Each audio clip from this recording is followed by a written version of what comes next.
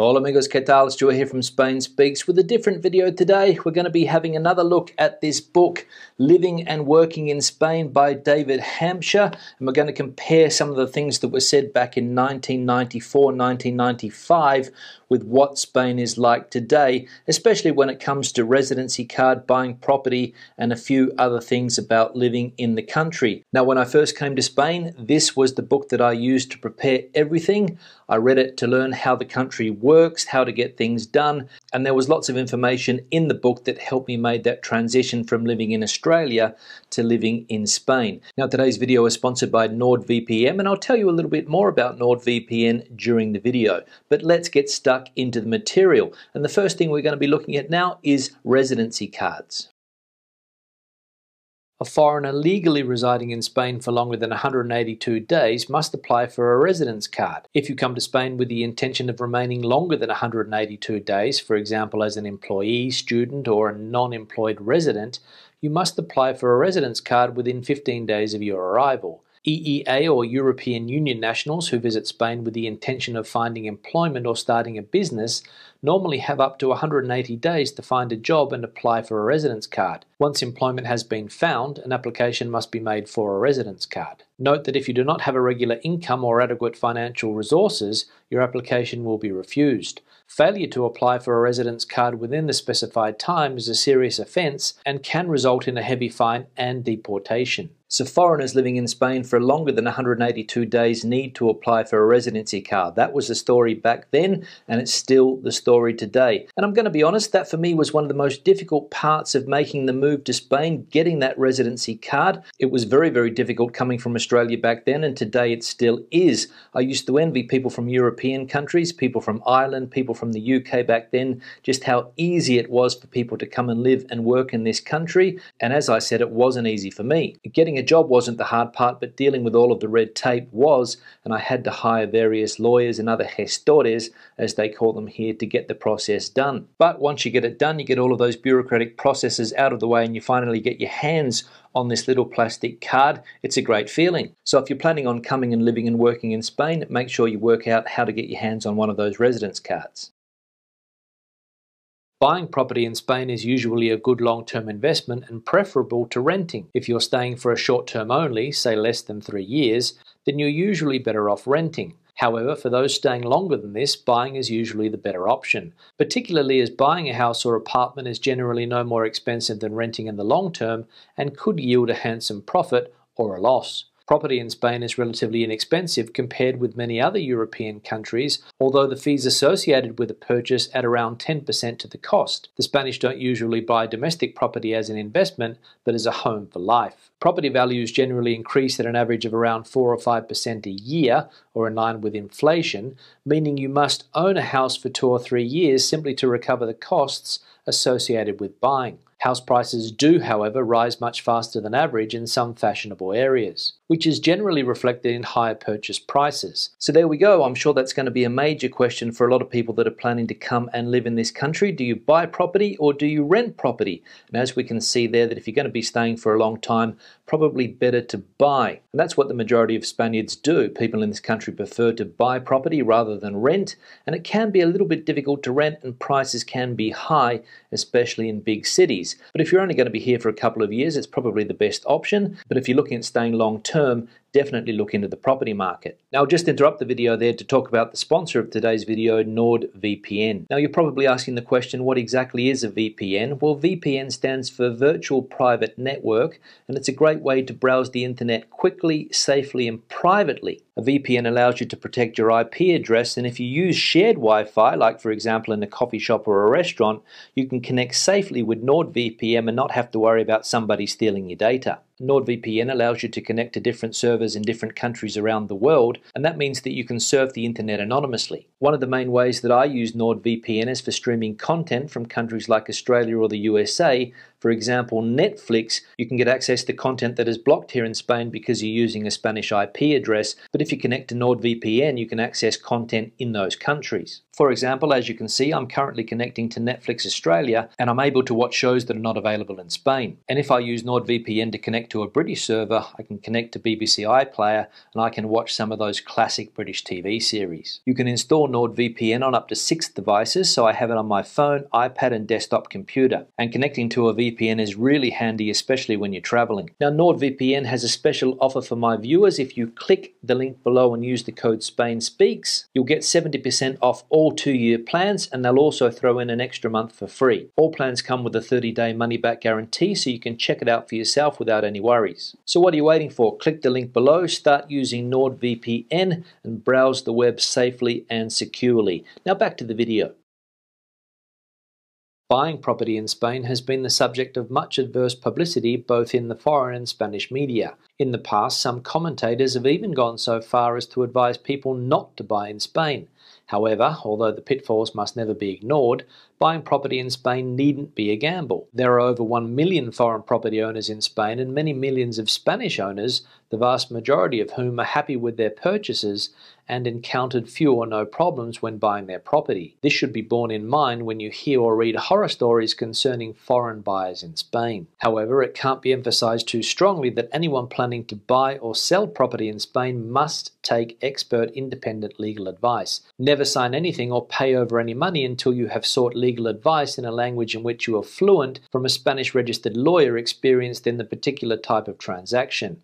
If you aren't prepared to do this, you shouldn't even think about buying property in Spain. So there you go. Although there are pitfalls associated with buying property here in Spain, and you are going to read and hear stories about people who have had nightmares buying property here in Spain, you only need to go to the internet to read some of those stories. As the book says, it doesn't need to be a gamble. Make sure that you get good advice. Speak to a lawyer, somebody that understands the property market here in Spain, and make sure that you do your due diligence. Make sure you understand the documents you're about to sign, and don't hand over any money unless you understand exactly what is going on.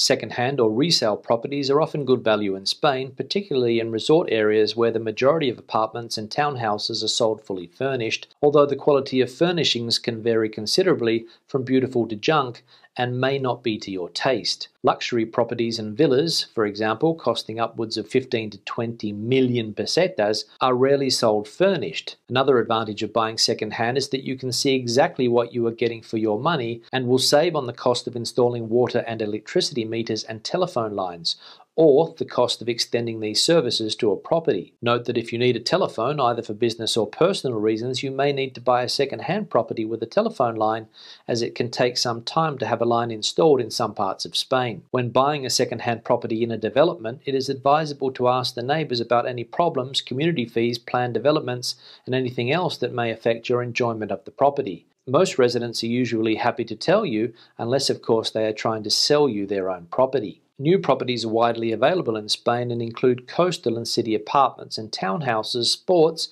for example ski or golf developments, and a wide range of individually designed villas. Most new properties are part of purpose-built developments, particularly along the costas and in the Balearic and Canary Islands. Note, however, that many developments are planned as holiday homes and may not be attractive as permanent homes. If you are buying an apartment or house that's part of a development or complex, check whether your neighbours will be mainly Spanish or foreigners. Some foreigners don't wish to live in a community consisting mainly of their fellow countrymen or other foreigners, and this may also deter buyers when you wish to sell. On the other hand, many foreigners don't want to live in a Spanish community, particularly if they don't speak Spanish. So that's the question do you buy a second hand property or do you buy a new property here in Spain. Now, I'm going to be honest, I don't have experience buying second-hand property here in Spain. I know a few people that have done just that, but I haven't done it. We bought a new property here. This house, for example, was new when we bought it. We bought it off plan. It took a while to be built, so that's also something that you need to keep in mind. The builders are most likely not going to meet the deadlines when it comes to handing over the keys, and buying a second-hand property can be a whole lot easier, and you don't have to put up with any of that. And there is, as the book says, an abundance of second-hand properties around the country country, so that most likely is the best choice. The quality of new property in Spain is extremely variable and it's generally poorer than in northern European countries.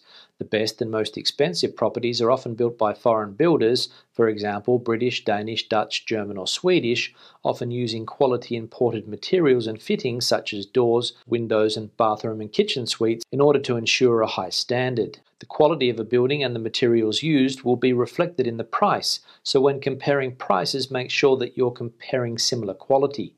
Cheaper properties aren't usually the best built, although there are exceptions. If you want a permanent rather than a holiday home, you're better off opting for quality rather than quantity. Now, unfortunately, this is something that hasn't changed in Spain the quality of housing. As we could see, it's generally poorer than in other European countries, and some of the best homes around the country are built by foreign builders, and that is still the case today. Spanish builders, in my experience, tend to cut corners. That was the case with this home here. Poor quality materials were used, some of the things that were promised weren't delivered, and the walls are incredibly thin. So keep that in mind when buying property here in Spain that quality can be an issue.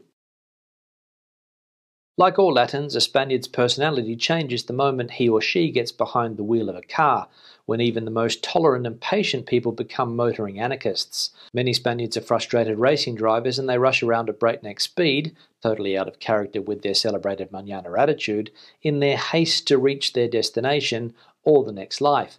To many Spaniards, driving is like a bullfight and an opportunity to demonstrate their machismo to their wives and girlfriends. Ah, Spanish drivers back in the 90s, motoring anarchists, as the book says. I don't think that's the case necessarily nowadays. I think people drive better in Spain than they did before. Roads are definitely better. Cars are generally better than they were 25 years ago, safer obviously than they were. And I must say, people don't seem to drive as fast as they used to do. I think that's because there are various speed radars around the country, and that has slowed people down. Of course, you still do come across the occasional crazy driver every now and again, but I don't think it's as bad as it was back in the 90s when this book was published. When driving in Spain, you should regard all drivers as totally unpredictable and always drive defensively, although it should be noted that not all Spanish drivers are bad. Among the most eccentric drivers' various idiosyncrasies are a total lack of lane discipline, lane markings are treated as optional, overtaking with reckless abandon on blind bends, failure to use indicators or mirrors, driving through red lights in the wrong way up one way streets, and parking anywhere it's illegal. The Spanish drive on both the right and on the left side of the road, that's when they aren't driving in the middle of the road. Many drivers are totally confused by roundabouts, as are many other Europeans, and they rarely give way to traffic already on roundabouts when entering them. Previously, traffic on a roundabout had to give way to traffic entering it. Roundabouts, yes, they were a problem back then and they're still a problem today. I don't know what it is, but a lot of people in this country don't understand the concept of roundabouts. Some people don't know when to give way, some people don't know who has right of way, and indicators basically don't exist when it comes to roundabouts in this country. Parking, however, which was said to be chaotic back in 1994, is a lot better nowadays, especially in big cities, but this is because zones are regulated nowadays and there are a lot of parking inspectors walking around and they're very, very eager to hand out fines, and that's one of the main reasons why people park better than they did in the past. But as I said before, and in my opinion, Spaniards and their use of cars and driving has improved a lot over the last 25 years. If you want guaranteed sunshine, miles of sandy beaches, good food, an abundant choice of entertainment, and a wide variety of accommodation, and you don't want to pay the earth, then Spain is the place for you. Not for nothing did the Spanish claim to have everything under the sun. Although the vast majority of holidaymakers and residents come to Spain to recline on a beach, there's much, much more to the country than the costas and a few islands. Spain offers infinite variety with something for everyone, including magnificent beaches for sun worshippers, spectacular unspoilt countryside for greens, a wealth of mountains and seas for sports fans, a vibrant nightlife for the jet set, bustling, sophisticated cities for townies, superb wine and cuisine for gourmets, a surfeit of art, culture, and serious music for art lovers, numerous festivals and fiestas for inveterate partygoers, and a tranquility for the stressed. Spain is a nation of bon viveurs with an insatiable thirst for fun and pleasure. Nobody can throw a better party than the Spanish. So there we go. I think that pretty much sums it up. Here in Spain, you will find something for everyone. If you want beaches, you'll find good beaches. If you want good weather, you'll find good weather. If you want good food, you'll find good food. And if you want art and culture, that is here in abundance. As the book said, Spain is a nation of bon viveurs, and that is definitely still the case today, and the Spanish still love to party. On that note, I'll start to wrap the video up. Questions and comments, please leave them in the section below. What are your opinions on what the book says? Is it true? Is it false? Have things changed over the last 25 years? Let me know in the comment section below. Give the video a thumbs up if you liked it, thumbs down if you didn't. I'll see you on the next one. Hasta luego.